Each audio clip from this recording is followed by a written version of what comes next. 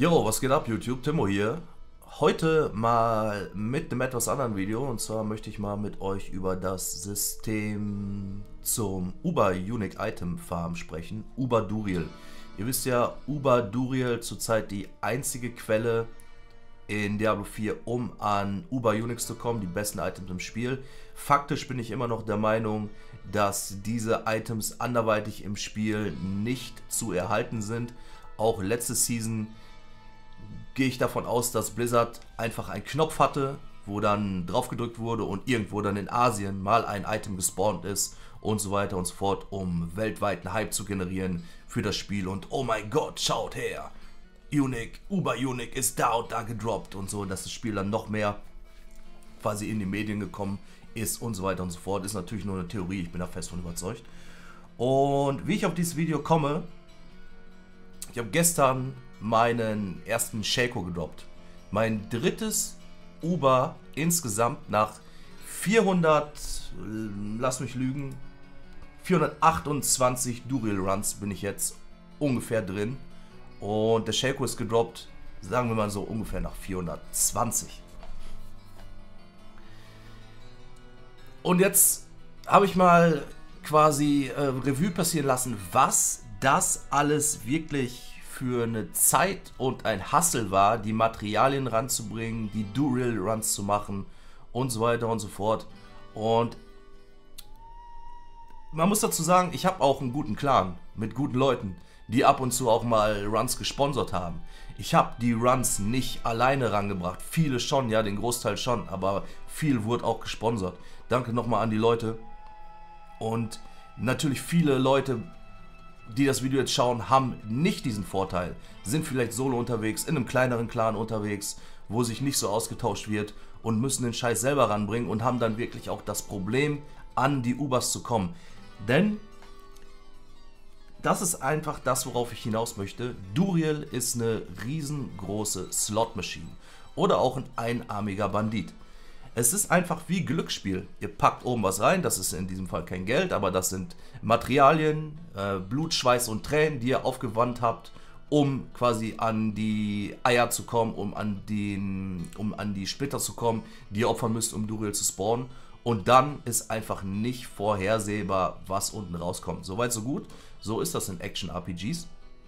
Ich muss sagen, am Anfang war ich von dem System ja, nicht überzeugt, aber ich war auf jeden Fall motiviert. Das hat sich dann alles so ein bisschen über die Zeit in Resignation und später, ich will nicht Wut sagen, aber ich sage euch ganz ehrlich, ich war ganz schön abgefuckt.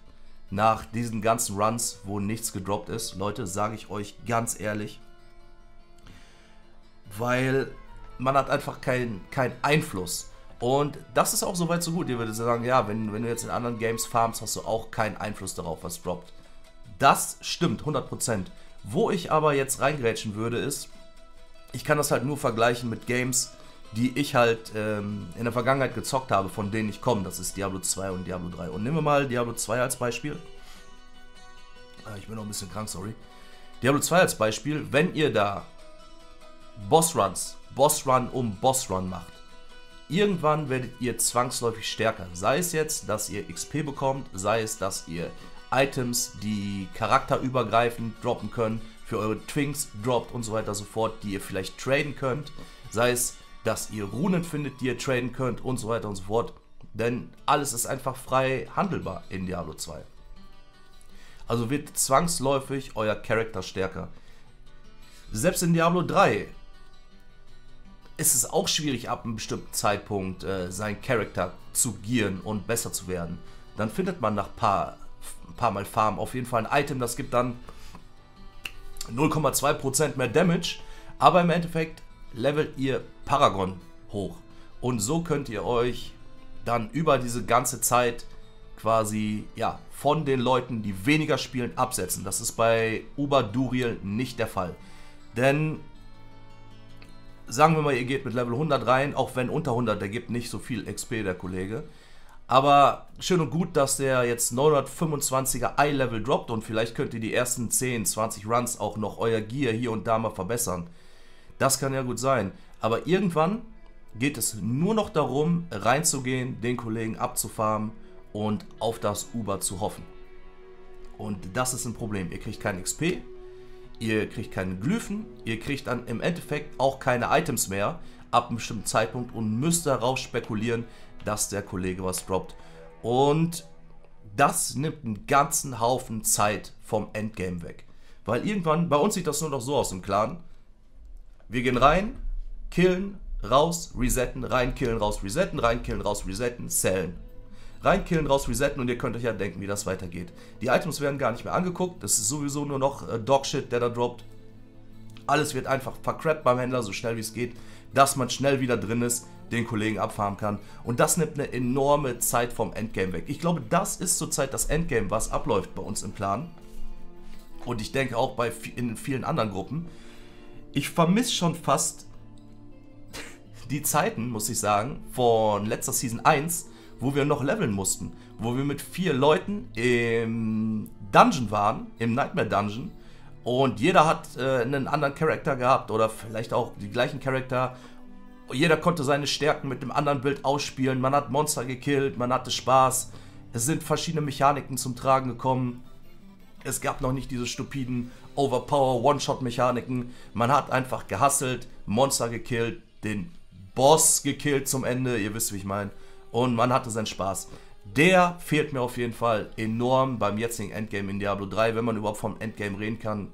Es ist einfach nur ein stupides, ja, oben die Coins reinwerfen, in unserem Sinne Materialien ist und hoffen, dass die drei Siebenen auf dem Bildschirm erscheinen für die Ubers. Das ist wirklich ein Problem und das größte Problem ist, dass die Zeit, die wir zurzeit reinstecken, nicht ordentlich vergolten wird.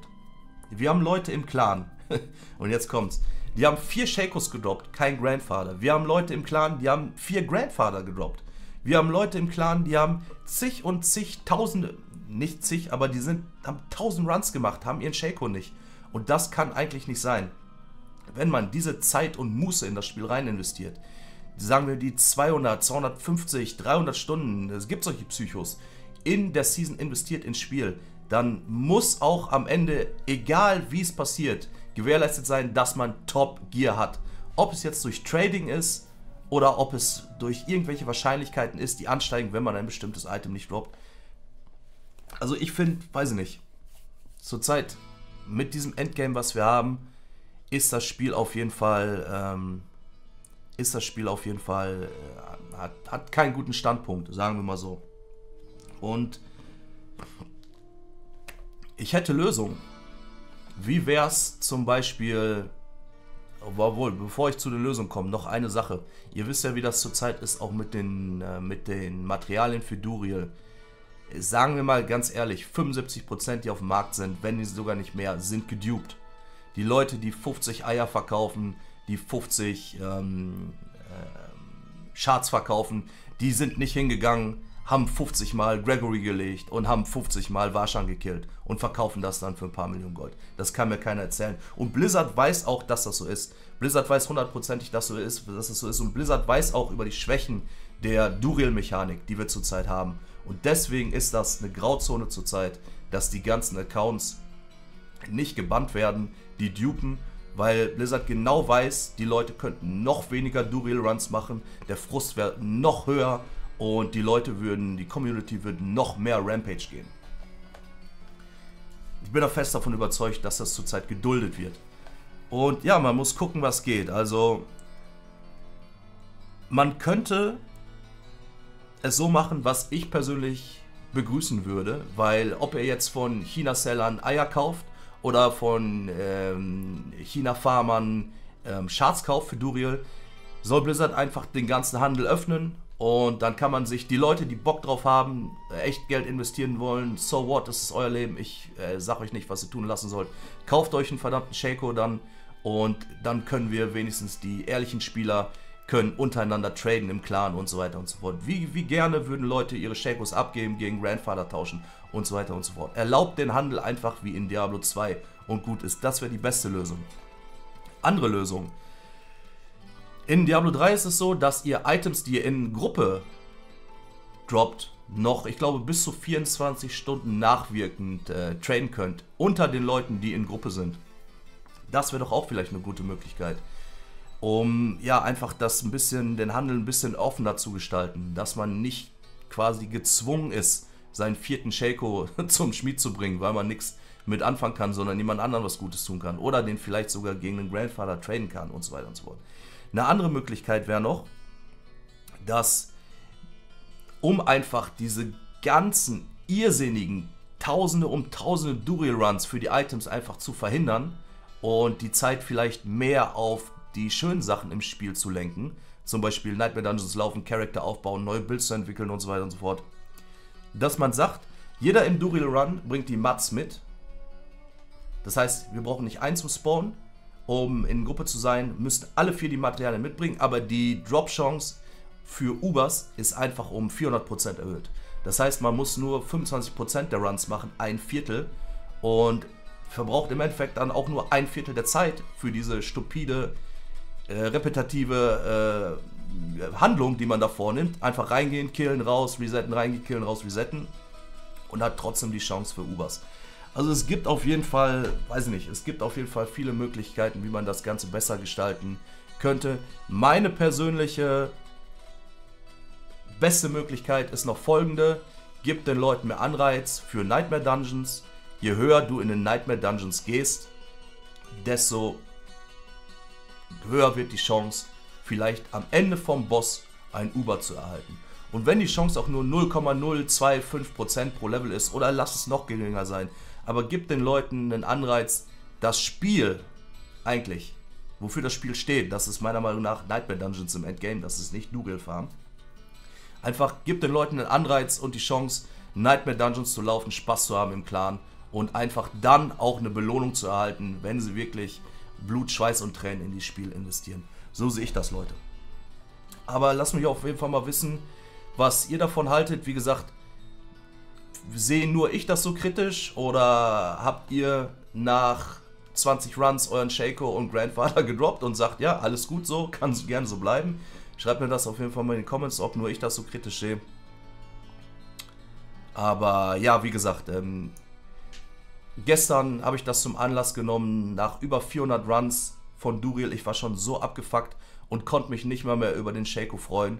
Und dann hast du da Leute, und denen gönne ich es auch, weil es ist ein RNG-Spiel, ähm, die droppen nach 30 Runs Grandfather und Shaco sagen, ich bin jetzt durch mit der Season. Und das kann es einfach nicht sein. Denn die Leute, die viel spielen, ich streame jeden Tag mindestens 4 Stunden, wenn nicht mehr. Leute, checkt check den Kanal aus. Die Leute, die viel spielen, werden meiner Meinung nach zu sehr künstlich beschnitten und sollten sich trotzdem irgendwie ja, sollten trotzdem besseres Gear als die Casuals haben. Ganz einfach, so sehe ich das. Sonst ist das ein schlechtes Spiel. In dem Sinne, Freunde der Sonne, danke für eure Zeit. Der Rant musste auf jeden Fall raus. Und äh, ja, schaut auf meinem Stream vorbei. Vielleicht droppe ich ja nach 500 Runs dann noch mein viertes Uber. Wer, wird, äh, wer, wer weiß es schon, wir werden sehen. Danke fürs Zusehen. Wir sehen uns im nächsten VOD oder im Stream. Bis dahin bin ich raus.